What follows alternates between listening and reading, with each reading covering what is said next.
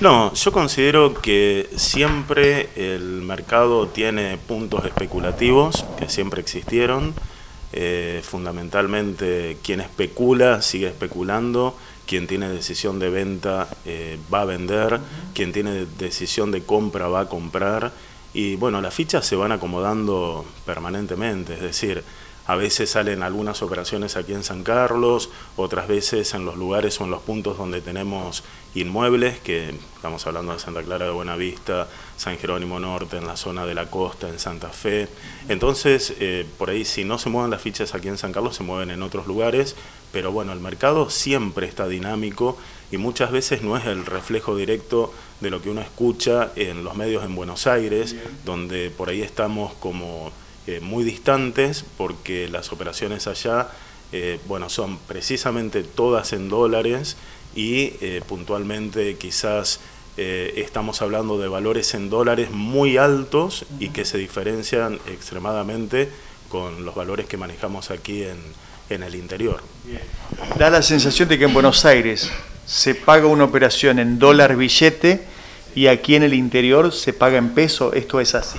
No, en realidad es como que todas las tasaciones eh, se hacen en pesos, eh, ciento por ciento, porque por ahí cuando hay esos desfasajes tan este, intensos, el inmueble eh, queda como desbalanceado. Eh, puntualmente porque los terrenos aquí son en pesos, la mano de obra es en pesos, los materiales, etcétera, etcétera, y si hubiera financiación que no la hay, también es en pesos, entonces no hay una proyección directa para acomodarlo al dólar.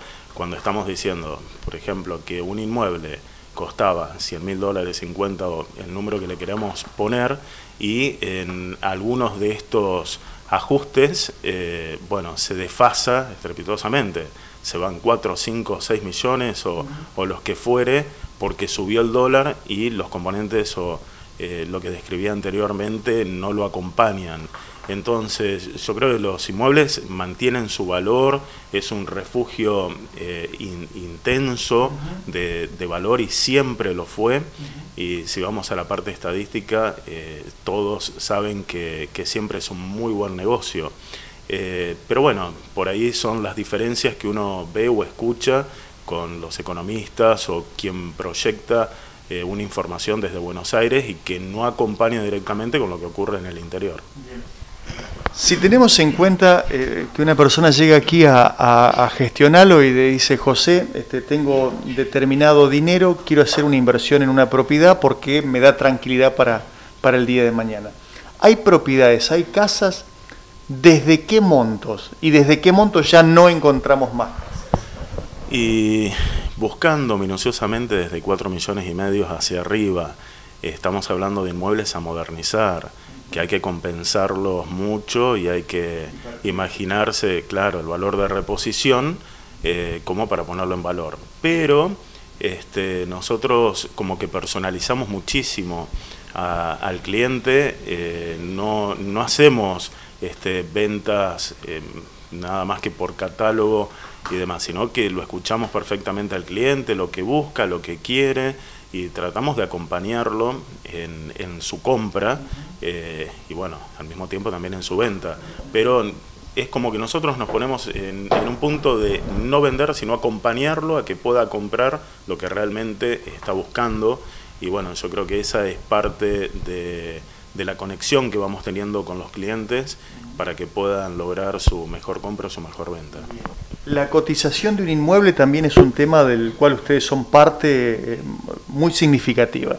Me imagino que llegan muchas personas diciendo yo quiero vender esta casa que para mí cuesta tanto y ustedes allí es donde ponen una dosis de racionalidad y dicen cuesta o mucho más o mucho menos o cuesta lo mismo, digo, pero son los que, los, los que saben.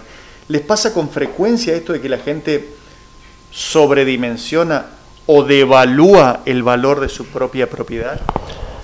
Bueno, eh, es muy difícil despojar al propietario del valor sentimental. El inmueble tiene un precio, eh, la gente compra por comparativo. Eh, yo siempre digo, no vendemos por internet, porque no se venden los inmuebles, ni por redes sociales, no, no se venden porque vean el cartel y nada más.